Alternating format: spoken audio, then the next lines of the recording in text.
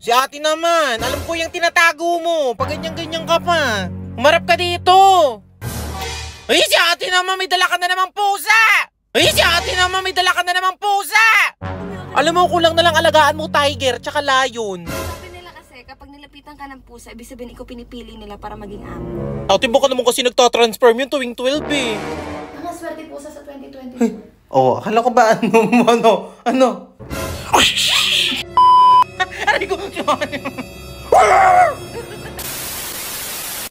Uy, ate!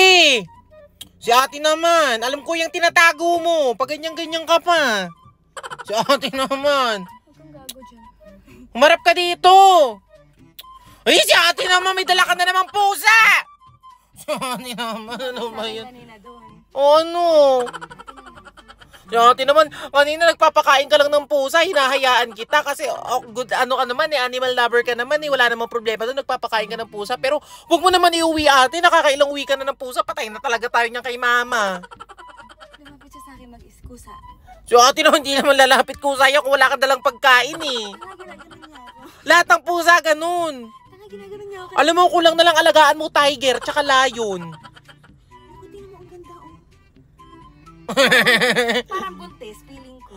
Ate, paano magiging puntis yan? Eh, mukhang lalaki. Sabi nila kasi, kapag nilapitan ka ng pusa, ibig sabihin ikaw pinipili nila para maging amo. Si ate, ganyan lang. May pagkain ko lang naman kasi dali. Ay, kakatuwa. Uy, ate. Ngayon lang ulit may sumama sa akin ng ganito. Ate, patay tayo kay mama. Ayan, wag ka lang mainit.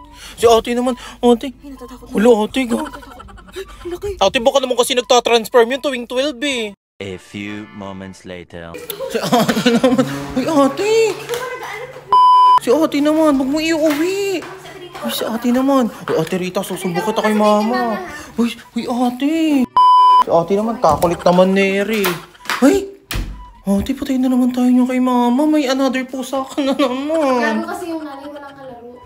Tsaka, tsaka, Ano? Nanay na yun. Di na mapaglaro yun. buntis siya, oh. Buntis siya. Hala, ate. Ano, ate? Ate, nagagalit. Tumatayo yung likod. nakaka-transform na yan. Hala, ate, baka mag-iaswang yan. ano? Sige. Ano? Labitan mo.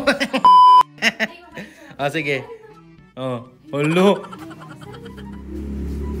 Hala. Oh, mabait siya. Ayun mo, ayun mo, sumasama na sa akin. Oh. Nagpapaampon siya, ginanon niya ako, tapos nung hinawakan ko siya, sumampa siya. Ngayon, sabi nila, hayaan mo yung, pu hayaan mo yung pusa yung pumili sa'yo para ano, para alam mo na, tanga swerte pusa sa 2022. Oh, akala ko ba ano, ano, ano?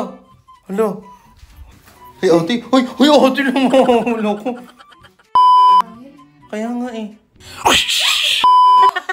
Aray ko, Okay lang ba yung ganyan? Tama ba yan? Ewan ko sa'yo, ikaw na mahilig mag-uwi-uwi ng pusa eh.